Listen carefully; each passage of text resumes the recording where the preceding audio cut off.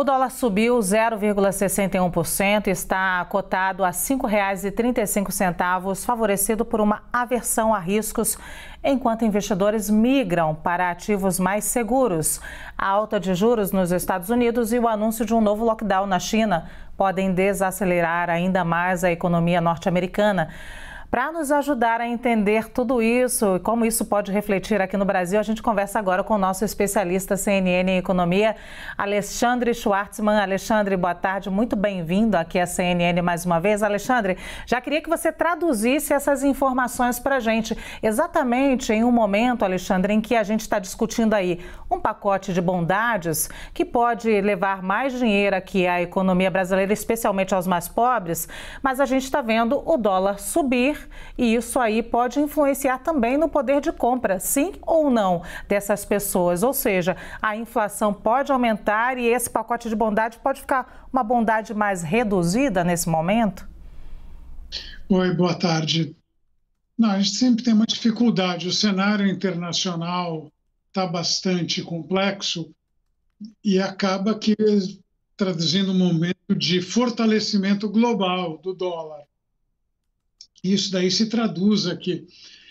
Então, a gente já tem essa pressão lá fora, ao mesmo tempo que a gente vê essas escorregadas que estão sendo feitas do ponto de vista de política econômica.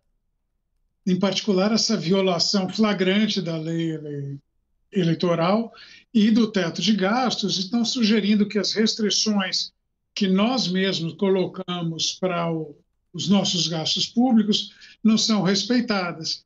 Aí, nesse cenário internacional, é dólar mais caro e isso acaba, de alguma forma, batendo na inflação. Alexandre, há situações específicas da economia em que medidas internas elas são suficientes, né? Os compêndios dizem, por exemplo, o próprio Banco Central quando ele pode fazer alguma movimentação eh, monetária em relação ao dólar. Mas quando você tem uma relação internacional como é atualmente muito complexa e muitas dessas variáveis elas são definidas lá fora, cria um grau de incerteza muito grande. Então, o que você diria quanto a isso? A incerteza maior é este ano ou é este este ano e também o ano seguinte, o ano que vem? Olha, acho que não se resolve nesse ano. A gente tem muita coisa ainda para acontecer, tem um processo inflacionário forte lá fora. Até o Federal Reserve está um pouco mais avançado, mas o Banco Central Europeu está super atrasado a esse respeito. Então, tem uma história aí para desenrolar.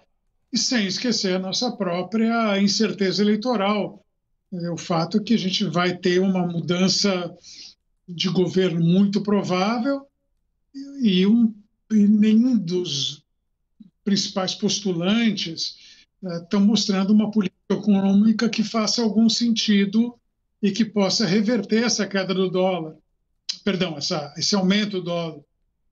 Então, o, o que acontece é que o espaço fica muito reduzido para isso. O Banco Central pode até tentar vender um pouco de dólar, mas isso é relativamente modesto perto de todo o impacto que vem de uma perspectiva de descontrole de gasto, elevação de dívida, etc.